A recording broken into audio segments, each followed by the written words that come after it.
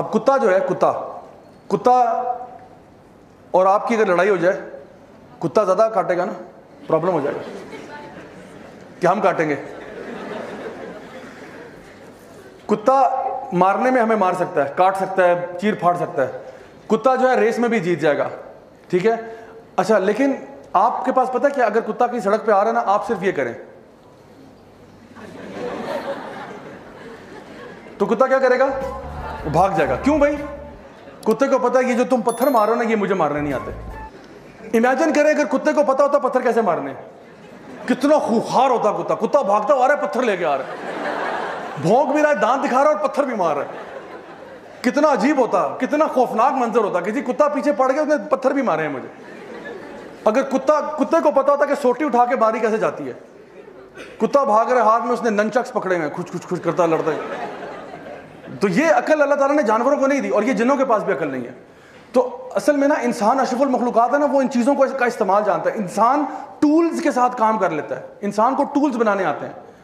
कोई काम करना है हमें उड़ना नहीं आता, लेकिन हम एक टूल बना लिए जिससे हम उड़ सकते हैं। हमें तेज चलना नहीं आता, लेकिन हमने गाड़ी बना ली है जो तेज ट्रैवल कर लेती है। हम वैसे बड़े कमज़ोर हैं, लेकिन हम लोग बॉडी आर्मर पहन सकते हैं जो कि हमारे, हमारी बॉडी को स्ट्रांग कर सकता है। गोली भी लगे तो गोली कुछ नहीं कहती।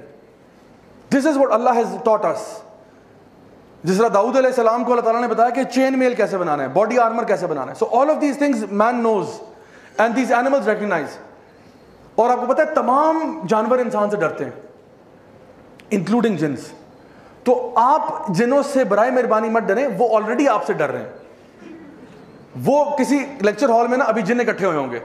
और वहाँ पे लेक्चर हो रहा होगा मेन एंड ब्लैक मैजिक उनका भी कोई स्पीकर होगा। राजा सो एंड सो होगा कोई राजा? होगा वहाँ पे भी कोई कराची से स्पीकर इंपोर्ट हुआ होगा। उधर भी कोई लाहौर से आएगा और कहेंगे कहेंगे, जिनो, डरो इंसानों से। डरो इंसान तुम्हें खा जाएँगे। इंसानों के पास ना जाना। खुदा का वास्ता इंसानों से बंगामत करना। इंसान बड़े जालिम होते हैं। बड़े खतरनाक होते हैं, मार जाते हैं, ये कर जाते हैं। तो वाकई में मैं आपको बताऊँ, जिन हमसे डरते हैं। तो आपको डरने की ज़रूरत नहीं है। तो इसलिए पहली बात ये समझ लें। अच्छा स्लाइड्स पे अगर आइएगा मैं आगे इंशाल्लाह कंटिन्यू करता हूँ बुल से आगे चलें। अच्छा मैजिक मैजिक पे आ जाए। मैजिक की दो टाइप्स हैं जो जो, जो हमें नज़र आती हैं। एक मैजिक है जो कि असली मैजिक है और एक है नकली मैजिक नकली मैजिक मैं कह रहा हूँ ऑप्टिकल इल्यूजन्स को। देखें जिस तरह एक ये चीज़ होना और आपने गायब कर दी और आपने अपने बाजू में डाल दी ठीक है? और वो लगा कि जी टेम्परली ये क्या है? ये ट्रिक्स हैं। ट्रिक्स की बात मैं नहीं कर रहा। ये मैजिक जो है ये ऑप्टिकल इल्यूजन होते हैं। ये आँखों की उसको कहते हैं स्लाइट ऑफ़ हैंड बच्चों के साथ हम अक्सर वो मज़ाक करते थे कि ऊपर जो है ना रुमाल रखा और चीज़ गायब कर दी और फिर कहा, देखो, चला गया, गायब हो गया। तो ये ये मैजिक की बात नहीं मैं कर रहा। मैं जिस मैजिक की बात कर रहा हूँ, ये वो है जो कि इंसानों को हर्ट कर सकता है हार्म कर सकता है डैमेज कर सकता है।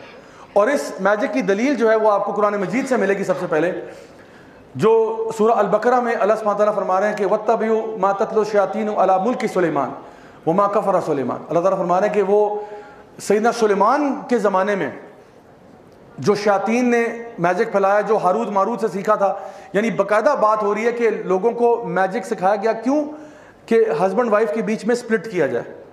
ये कोई ऑप्टिकल इल्यूजन नहीं है, वाक्यतन हस्बैंड वाइफ स्प्लिट हो गए। ये मैजिक का एक असर है हस्बैंड वाइफ को सेपरेट करना। और इसकी दूसरी चीज़ जो नबी करीम वसल्लम की हदीस है बुखारी और मुस्लिम में, आपने फरमाया सेवन डेडली सेंस के बारे में। सबसे बड़े गुनाह कौन से हैं? आपने उनमें से एक फरमाया मैजिक नंबर टू पे डाला।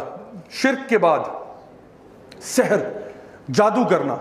और जादू की सज़ा फुकहा के नज़दीक इसकी सज़ा जो है ना वो कत्ल है, कि जादूगर को कत्ल कर दिया जाए। तो ये ट्रिक्स करने वालों को नहीं, ये ना कल घर के जाके बच्चे को पकड़ के आप कहेंगे, तुम वाजिबल कत्ल हो चुके क्योंकि वैसे बेचारा ट्रिक्स कर रहा है। मैं कह रहा हूँ, बाकायदा जादू करने वाला। Next video is come soon like share and subscribe